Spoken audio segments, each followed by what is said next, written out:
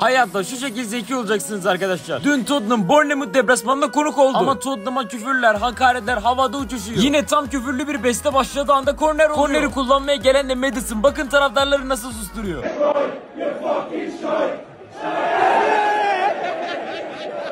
Hiçbir taraftar anlamadı. Hatta Madison'ın aptal olduğunu bile düşündüler. Ama o tribündeki tüm dikkati dağıttı. Sonrasında golünü dağıttı ve maçı kazandırdı. Maç sonunda da benim için çok kolaydı dedi ve zekasına bir kez daha hayran bıraktı.